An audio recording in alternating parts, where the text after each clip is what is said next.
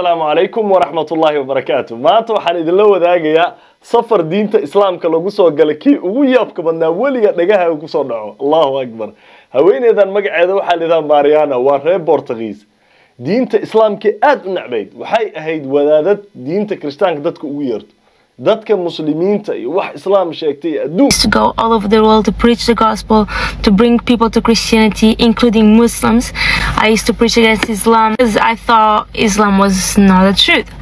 So if you believe something is not the truth, of course you're going to try to warn people. laakiin maxay la kulantay ayadii ayaa sabab u noqotay inay muslinta afkeeday noogu sheegaysaa waxa ay ku muslintay iyo sababtaas somali media qisada mariana waa qiso yaab leh oo qof walba adduunka dhageystay weliba markay soo muslintay viral ay noqotay. Viral waxa la waxa aadka adduunka loo wareejiyo. Sababta waxa waaye gabadhan ayadooba diinta islaamka wax badan ka aqoonin ayay diinta islaamka duri jirtay ay wax ka sheegi jirtay. Bal dadkay ugu yeeri jirtay islaamka inay ka tagaan. Safarkan hadda ay ku muslimi doontana waxay u socotay inay dadka diinta ka saarto. Waaye anoona warka idinku badin mariana marka aan qeybteeda dhammayno qaybta ugu dambaysa barnaamijka waxaad kaloo ku maqli doontaa haweeneyda iyadana da-da ah oo magaceeda maryama ayaa la dhaha iyada oo hadda maryama la baxday maria ayaa la dhihi jiray waa reer britain ayadana si yaab ku soo muslintay. Laakiin aan idiin bilaaba qisada mariana oon aada ula yaabay qaybta ugu horeyso waxay leedahay haddaan idiin hordhaco muuqaalka waad arki doontaan magacayga waa maria. Waxaan ka soo jee waxaan ahay christaan bay leedahay waxaan ahaa qof breacher ama dadka wacdido weliba si adag oo dee strict ah ayaan dadku u wacdin jiray. Waxay tiri adduunka ayaan ku wareegi jiray si aan ma aragtay dadka uga ugu wacdiyo gospelka kitaabka kirishtaanka islaamkana dadka aan uga digo.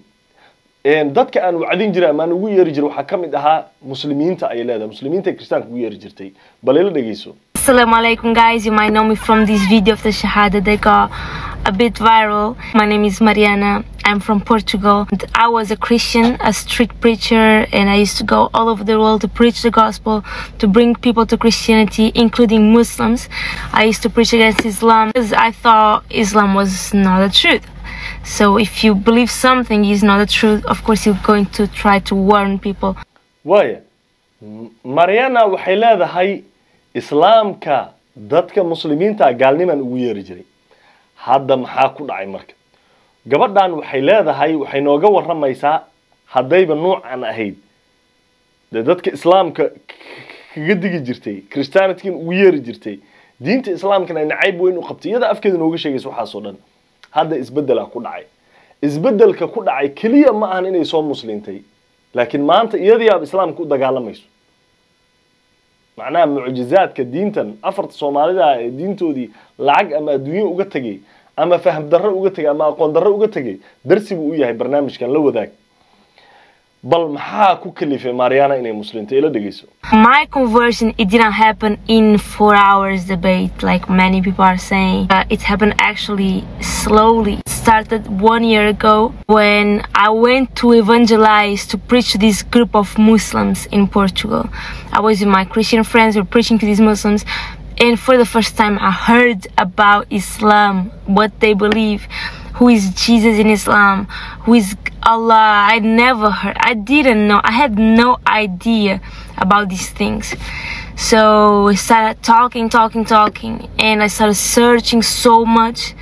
And I ended up getting knowledge to preach against Islam. I even learned with some waay sida aada maqlaysaan mariana waxay leedahay inaan islaamka qaato ama aan diinta islaamka aqbalo iskama dhicin bay leedahay. Wax afar iyo labaatan sac gudahood ku dhaca ama wax iska dhacay ma ahan bay leedahay. Waxay bilaabatay sanad ka hor weliba si in yar in yara ayay igu bilaabatay bay leedahay. Laakiin maxaa dhacay? Haguu ka bilowday safarkeeda. Siday afkeeda noogu sheegtay mariana waxay leedahay waxaan aadnay meel bortugiiska ku taalla wadankeeda gudihiisa meel ku taalla oo muslimiin ay joogaan. Maalintaas waxay kabaha u gashatay inay dad muslimiina soo gaalaysiiso. Allahu akbar waan baxay bay leedahay yaa israacay laakiin keligeed maahan iyada iyo koox saaxiibadeeda israacay waxay leedahay saaxiibaday aniga waan israacnay waxaan aadnay si dadkaas aan diinta islaamka ugu wacdinay kiristaankan aan ugu yeerno gaalnimin aan ugu yeerno.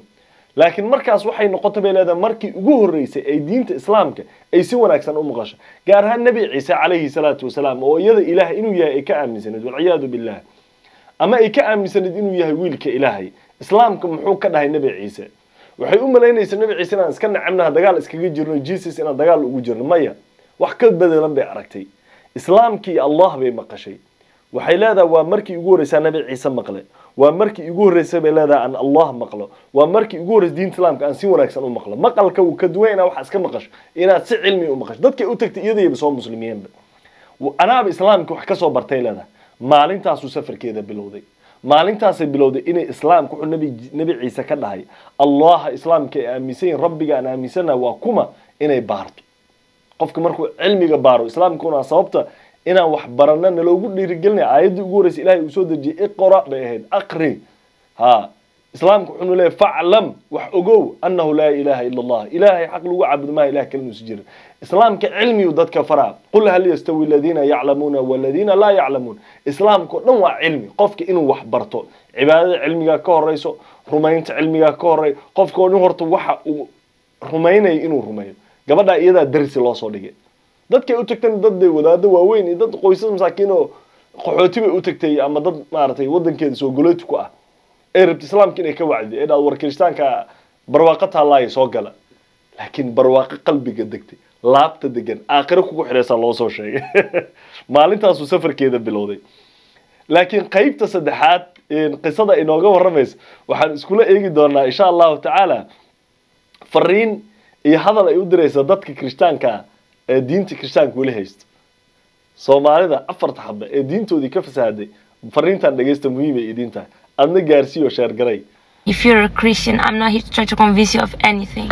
I'm telling you, like, I did my research, I've been studying it. So, anything that Christians can tell me to go, go and check this, I did it. I'm telling you, I did it for more than one year. I was trying to prove Islam was false. I, I had a notebook with all the things. Why is Islam false?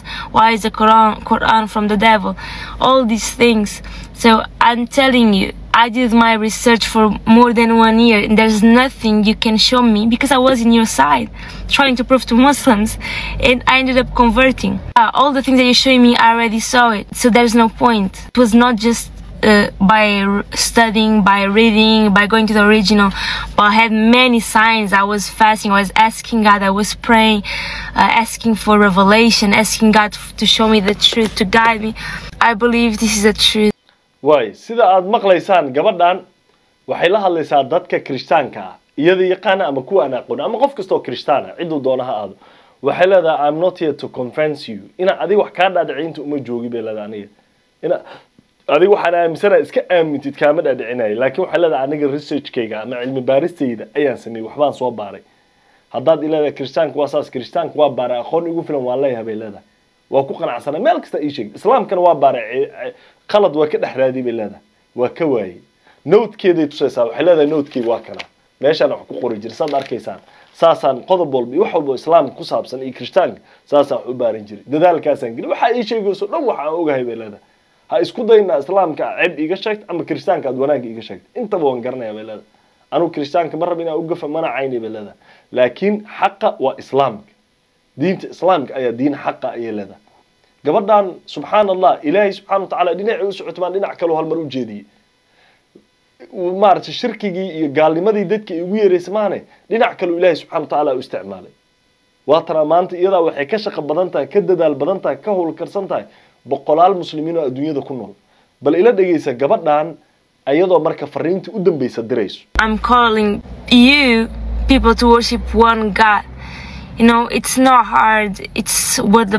All the prophets preached about, even including Jesus. I'll start posting more on this account and specifically about my conversion, about your questions about the Bible, the Quran, the Torah, Council of Nicaea, all these things. You can ask me anything. And yeah, my God bless. waay sida aada maqlaysaan iyadaa maanta waxay leedahay waxaan idinkugu yeerayaa hal allah in la caabudo ilaahay hal ilaah in la caabudo ilaahay inaan waxba lala shigirayn ilaahay keligiis la caabudo shirki la iska ilaaliy ayadaa maanta ugu yeerays diinta xaqa ee islaamka.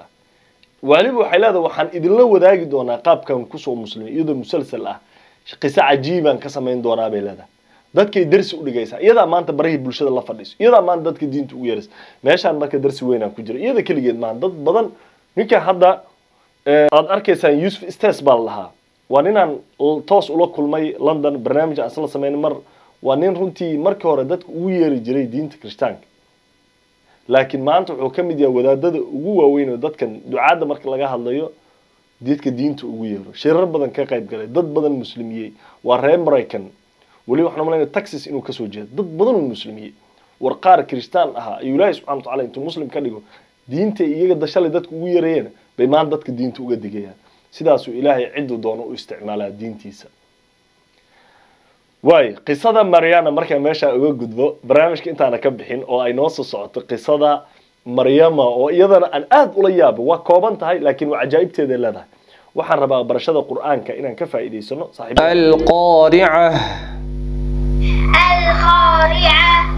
fursad weyn ayaan halkan idinkugu hayaa walaalaha qiimiga badan. Macadka alburuuj online islamic studies wuxuu kuu diyaariyey fursad adoo gurigaada goobtaada shaqo jooga aada barashada qur'aanka ugu diyaarin karta caruurtaadii adigaba waqti gaaban ku baro qur-aanka ilaahay subxaana wa tacaala hingaada luuqa carabiya iyo xafidaada tafsiir والعاديات ضبحا والعاديات ضبحا meel ha aadin adigii ilmahaaga macalimiin khibrad u leh inay ku baraan ayaa kugu diyaara haddaba wac oo la xiriir taleefanada shaashada kaaga muuqdo waay waa rajeynaya inaad qorateen oad ka faa'iidaysan doontaan maria ama mariama waa reer britain waa waayeel. Taqriiban siddeetankii sagaashankii bay ku socotaa.